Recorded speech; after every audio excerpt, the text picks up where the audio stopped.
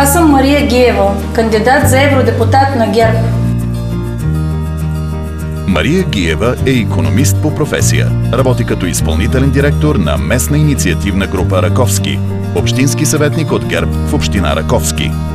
Като изпълнителен директор управлявам стратегия за местно развитие за освояването на 4 милиона лева за община Раковски.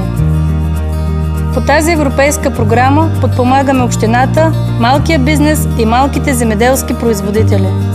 През 2012 година спечелихме конкурса за най-добра проектна идея на Министерството на земеделието и храните.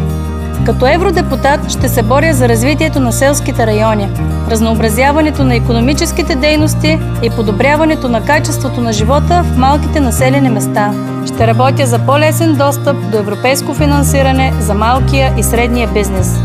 Гласувайте за ГЕРБ, защото ние сме бъдещето.